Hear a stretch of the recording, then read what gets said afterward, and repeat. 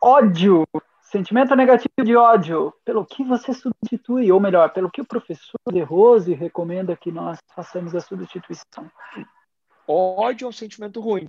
Quando você tem ódio, ódio é rancoroso, ódio é. ele te consome. Então, qual é a dica para você performar melhor? Se você está imerso no ódio, pega esse ódio e transforma em raiva. E com a raiva vai atrás do seu objetivo. Vai atrás de, de vencer na vida, vai atrás de emagrecer, vai atrás de, de aprender inglês, vai atrás de, de melhorar sua performance no esporte, vai atrás com raiva, vai em busca de, de alcançar os seus objetivos, seja qual for, é transmutar o ódio em raiva. Evoluir, né, de um sentimento para o outro.